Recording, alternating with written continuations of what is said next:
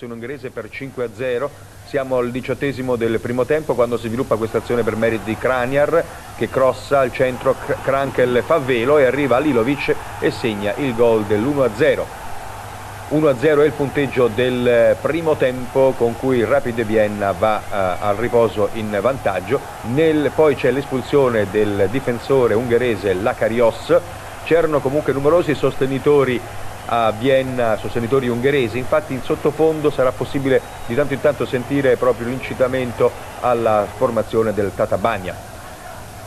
Eccolo proprio adesso in questo momento sente il Tatabania eh, incitato dai suoi eh, sostenitori ungheresi, mentre al tredicesimo l'azione del gol del raddoppio del Rapid Vienna era Kinast, Kinast che inizia l'azione e poi al termine di questa azione va lui stesso a segnare. Dopo un bel triangolo doppio, ecco il gol di Kinast, 2-0 al tredicesimo del secondo tempo per il Rapid Vienna.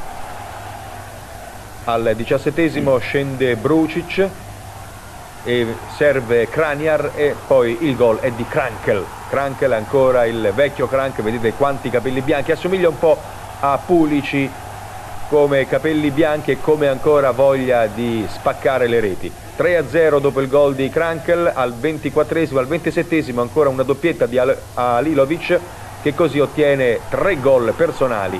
Questo è il gol del 4-0 di Alilovic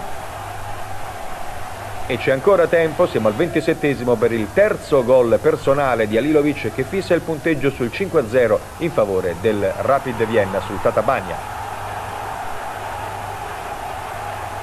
Gran goleador della giornata.